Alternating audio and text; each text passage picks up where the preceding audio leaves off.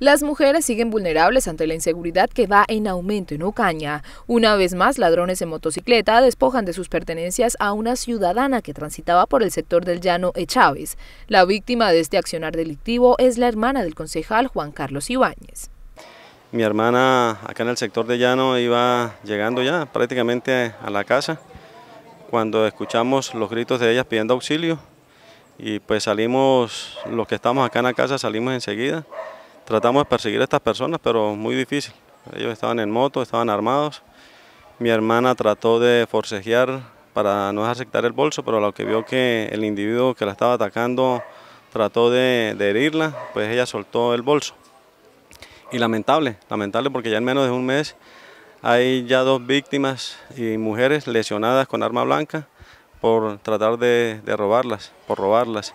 En repetidas oportunidades se ha solicitado a la Policía Nacional acciones contundentes contra la inseguridad en Ocaña. Créanme que yo desde hace más de siete años, en todos los controles políticos que hemos tenido, siempre ha sido el mismo llamado, el mismo llamado a las autoridades, cuando están los comandantes de estación, el comandante de distrito, es de que la situación que se presenta, siempre nos salen con el tema de las estadísticas, pero yo creo que ya no estamos para estadísticas, es de actuar es de tener la responsabilidad, el compromiso, porque siempre nos salen con el cuento que es que Ocaña tiene siete cuadrantes y que los cuadrantes los cubren son dos, dos uniformados. Precisamente anoche los policías que vinieron a atender el caso nos dicen que tienen 53 barrios a cargo, pero esto no son excusas.